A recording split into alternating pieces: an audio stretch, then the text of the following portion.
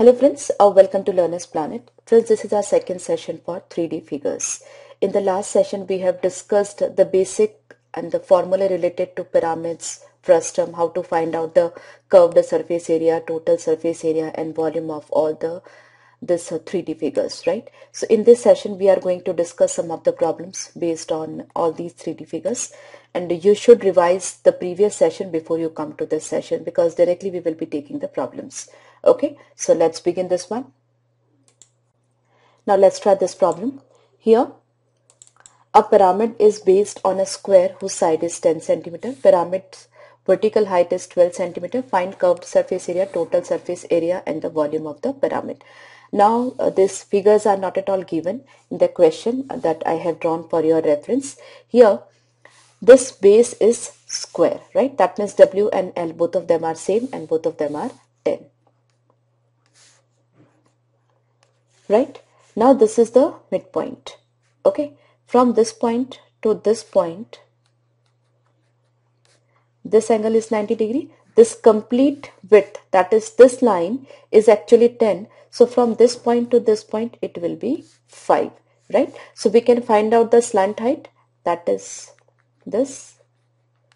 So that will be actually, this is 12, this is 5. That means uh, we can apply Pythagoras theorem. So that will be 13, right? 5, 12 and 13, they, they are Pythagorean triplet. So the slant height will be 13, right? Now, the base area will be 10 into 10 that is 100 plus now we have the four triangles and the base of the triangle is 10 and height that is if we just straight it like this this way then this height that is 13 over here will be the height of this triangle right? So this height is 13 that is altitude of this triangle is 13 right? And what is the formula for area of the triangle? That is half of base into altitude. So half of base that is 10 into altitude that is 13 and there are four triangles like this. So I'll multiply it by 4 okay so that is 13 into 226 uh, that is 260 plus 100 360 um, centimeter square will be the total surface area of this pyramid right? If you wish to calculate the curved surface area then you just have to take the uh, this uh, 261 uh, 261 part that is uh, you can leave this 100 because that is the area of the square base. Okay so curved surface area will be 260 total surface area will be 360 right? Now you have to find out the volume of this pyramid. So that I've, the formula I have already discussed that is one third because this is the uh, figure that is not symmetric that is this not vertical that it has slant height. So the volume will be 1 upon 3 base area into height. So base area is what? Here it is. 100 into height is what? 12 right so volume is 400 cubic centimeter Okay, so that's pretty simple. As I have told you in the previous session also, no need to mug up any formula. You should be basic, uh, basically clear how to find out the area of the square, how to find out the area of a triangle. That's it.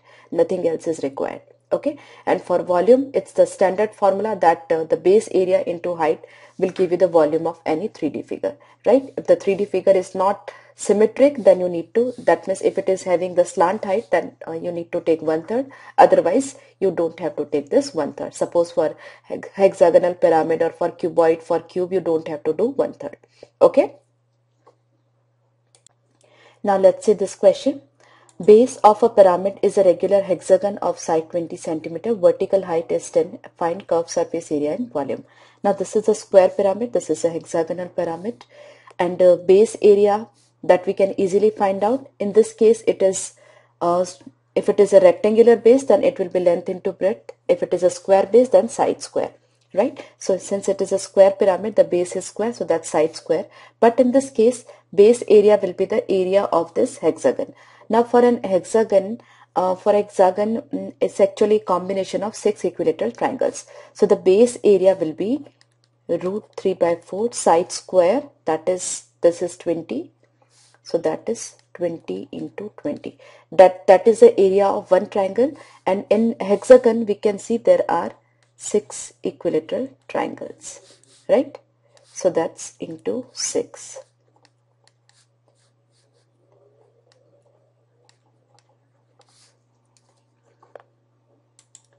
So that is 600 root 3 that is the centimeter square that is the base area. Now we have to find out the curved surface area. Now for curved surface area base we know right? This base we know but and this height we know right? This height. That is given as um, 10 centimeter right? So this altitude we know that is 10 centimeter. We have to find out the slant height. This slant height will be actually height of this triangle right? And uh, and uh, we know we need to know the length of this. Right? So this is actually if you can visualize I have drawn the figure over here. Just look at carefully. Yeah. This is the midpoint that you can observe from this point to this point. This is the total length that I have marked over here. Right? And from this point to this point this length will be actually this length right? So this is what the altitude of one equilateral triangle right? So we have to find out the altitude of this. So how do we find out? Area of this equilateral triangle will be uh, one equilateral triangle will be root 3 by 4 into 20 into 20 and area of triangle can be find out by half of base into altitude. So base is 20 and altitude we have to find out right So the altitude is 10 root 3. That means this length is 10 root 3. Okay. Now we can find out the slant height. So this is 10. This is uh, 10 root 3. So slant height will be 10 square plus 10 root 3 square. That means 300. So that is 400 and square root of this will be 20. So slant height is 20. Right.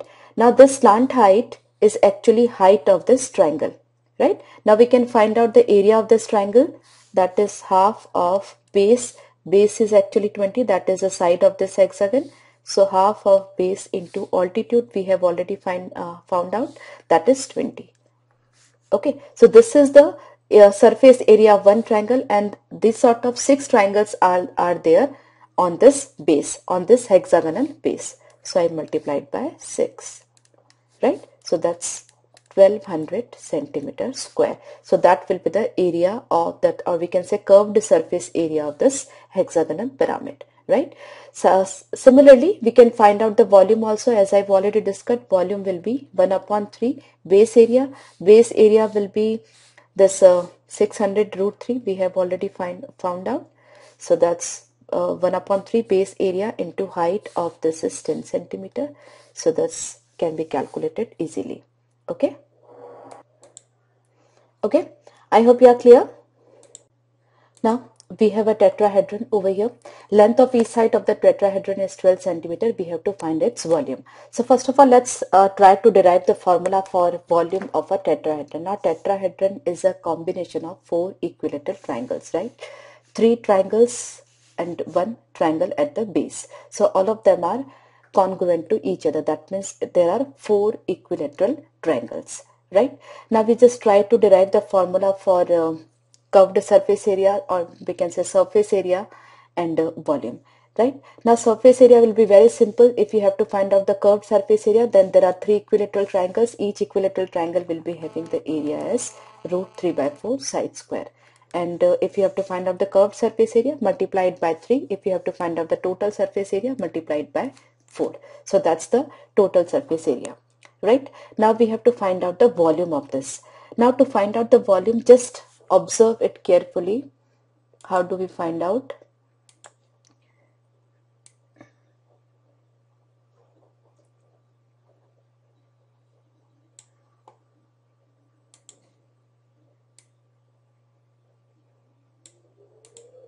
Now this is a right angle triangle. Okay this is the height of this uh, tetrahedron. I write it H. This is actually circumcenter. Okay, circumcenter of this triangle. this is equidistant from all the three vertices so this is the circumcenter of this triangle and this is the slant height or we can say side of the triangle so that's given to us maybe we assume it to be L already it is given but to derive the formula I assume it to be L right now this length that is actually circumradius of this triangle. Now how do we find out the circumradius that we have already discussed in the basic sessions of geometry? See for uh, area of any triangle, any equilateral triangle is root 3 by 4 a square that is side square right? And in terms of circumradius it is a cube by 4r that is the area of an equilateral triangle in terms of circumradius where r is the circumradius right so actually R is A by root 3 that is side by root 3 that is circumradius right. So here the side is actually L so L uh, R is L by root 3 okay. So this is L this is L by root 3 and this is H. Now all of them will form Pythagorean uh, they will be in we will we can use Pythagoras theorem to find out H right. So h square plus L square by 3 is equal to L square, right? So h square is equal to L square minus L square by 3. So I can say 2 by 3 L square, right? So h will be root 2 by 3 L, okay? Now we have to find out the volume. So volume is the base area into height. Base area is what? root 3 by 4 L square into height we have already found out that's so I take everything under square root so that's 3 if it goes into the square root it will be 16 then this is 2 and this is 3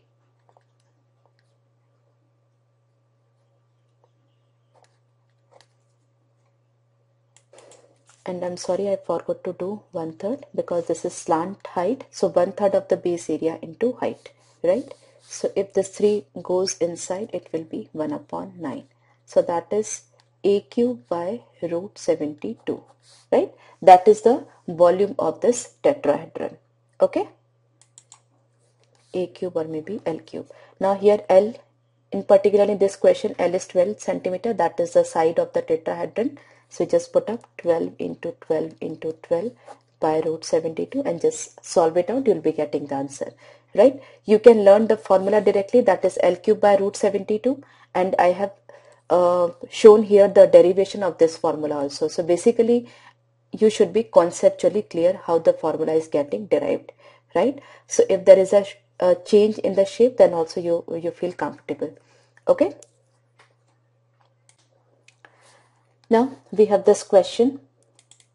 A right circular cone is separated into solids of volume V1, V2, V3 by two parallel lines to the base which also trisect the altitude then a ratio of V1, V2, V3. Uh, I have drawn the diagram over here. These are the two parallel lines and uh, the height is equal, right? This point, that means this is one third, this is one third and this is one third right? Now we have already discussed in our basic session, session of the previous session that this triangle will be similar to this triangle and this triangle. That means O P Q P dash Q dash and O dash R dash right? Triangle OPQ is similar to triangle OP dash Q dash and triangle O dash O, o dash R dash right? So the three triangles that you can see over here will all, all of them will be similar to each other right? Now what is happening? Since height is getting one third this is the total height i supposed to be h so this height will be one third now if height is getting one third r will also be one third if this is r then it will be r by 3 right? Height is one third r is one third that means the volume will be 1 upon 27 right of the entire volume. That means the volume of this particular portion that is the smaller cone will be 1 upon 27 of the volume of the entire cone right? Because r is one third h is one third. You can see it. Okay so that is 3 square 9 into 3 127 this is actually constant figure so that's not at all required to make the calculation. So if height is one third radius is one third the volume will be 1 by 27 right? Now this is of the first this one right so that is actually v1 now v2 this figure from that means this frustum part now to find out the volume of this frustum part, I can find out the area, I'm um, sorry, volume of this cone, then I can deduct the volume of the smaller cone. Volume of the smaller cone we already know that is V by 27. Now we can find out the volume of this bigger cone. Now height is actually 2 third. This is h by 3, this is h by 3, right? So height is 2 third and radius will also be 2 third. So the volume will be 8 by 27 of the total volume right? Now we have to find out the volume of this portion only. So from the entire 8 by 27 if we deduct this one we will be getting the volume of this one. So from 8 by 27 I deduct 1 by 27 so the volume of this portion will be 7 by 27 right? Now what the third portion. So that is from this entire volume. If I deduct the volume of this uh, this cone then I can get the volume of this one right? Now the entire volume is V minus volume of this we have already calculated that is 8 by 27 of V. So precisely volume of this portion is 27 minus 8 that is 19 by 27 V right so that's V3 so V1 is to V2 is to V3 will be 1 is to 7 is to 19. Right? So it's a very simple problem.